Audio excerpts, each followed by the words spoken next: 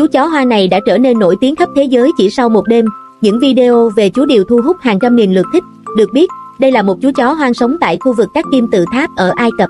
Khác với những con chó hoang thường chỉ tìm đến các khách du lịch để xin ăn, chú chó này, nó được mệnh danh là thần Anubis ngoài đời thực.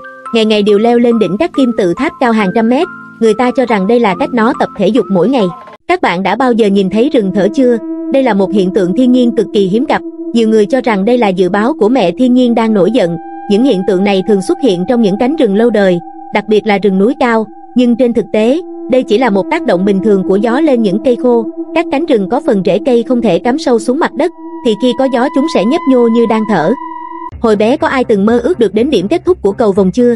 Những người này trong lúc lái xe trên đường đã tình cờ nhìn thấy được điểm kết của cầu vòng, nhưng chỉ sau một lúc thì họ biết mình đã bị lừa. Như các bạn đã thấy, tại đây là chân của cầu vòng, nhưng trên thực tế, đây chỉ là do ảo ảnh. Dù có đi thêm bao xa đi chăng nữa thì họ cũng sẽ không bao giờ đến được đó.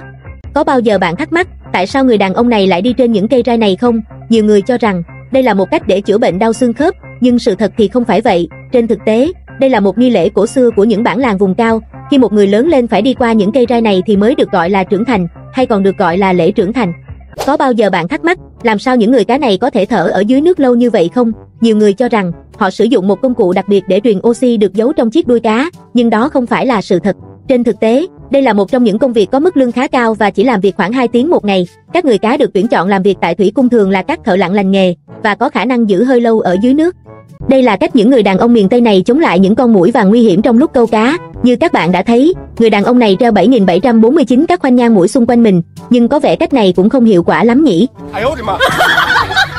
Nếu thường xuyên xem YouTube Short, chắc hẳn bạn đã từng thấy những video như thế này rồi. Có bao giờ bạn thắc mắc, tại sao cô gái này lại không hề sợ phân voi không? Nhiều người cho rằng, video đó đã bị cắt ghép, nhưng sự thật cô ấy là một YouTuber nổi tiếng người Thái Lan chuyên quay những video như vậy. Trên thực tế, phân voi được sử dụng để sản xuất một thứ mà ít ai ngờ tới. Phân voi chủ yếu là khoáng chất vô cơ không hề nặng mùi và thường được tận dụng để làm giấy. Nếu bạn bắt gặp một người có những con nhện nhô lên dưới da như thế này, thì đừng vội hoảng sợ, vì câu trả lời sẽ có ở trong video này. Những video như vậy rất nổi tiếng trên mạng xã hội, ghi lại cảnh những dân chơi có một con nhện nhô lên từ dưới lớp da của mình. Nó có thể là ở trên bàn tay hoặc xương sườn, nhưng trên thực tế, những con nhện này không phải là thật. Đó chỉ là kết quả của việc cấy ghép silicon vào cơ thể để tạo hình những con nhện độc đáo.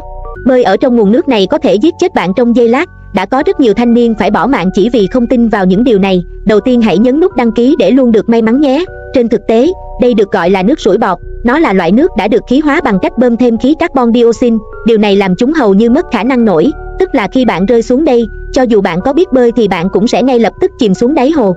Có bao giờ bạn thắc mắc tại sao các cửa hàng iPhone lại không sợ bị trộm cắp không? Nhiều người cho rằng vì những chiếc điện thoại trưng bày chỉ là hàng demo, nhưng sự thật thì không phải vậy. Như các bạn đã thấy, tên ăn trộm này lần lượt trộm đi những chiếc điện thoại trên bàn trưng bày, bất ngờ là chẳng có một người bảo vệ nào đến để ngăn cản cả. Trên thực tế, vì điện thoại iPhone sẽ bị khóa và trở thành cục rạch nếu bị đánh cắp. Điều gì sẽ xảy ra nếu bạn ăn dưa hấu liên tục trong vòng một tuần? Đầu tiên đó là mất cảm giác thèm uống nước, vì hàm lượng nước trong mỗi quả dưa có rất nhiều. Tiếp theo là lượng mỡ thừa trong cơ thể sẽ được đào thải. Dưa hấu là một loại trái cây rất tốt trong việc đi tóc cơ thể. Ngoài ra nếu bạn ăn dưa hấu thường xuyên, thì những cơn thèm đồ ăn vặt sẽ không còn. Dưa hấu làm bạn no nhưng không bị nặng bụng, và tuyệt vời hơn là chúng không chứa những chất gây tăng cân.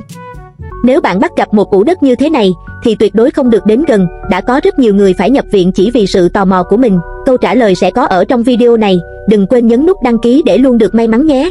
Trên thực tế, dưới những mô đất đó là một loại nấm cực kỳ phổ biến tại các vùng đất cát, nhưng cũng tuyệt đối cũng đừng để bề ngoài hấp dẫn của nó lừa bạn, vì nó là nấm mỡ, một loại nấm cực kỳ độc có thể giết bạn trong phút chốc.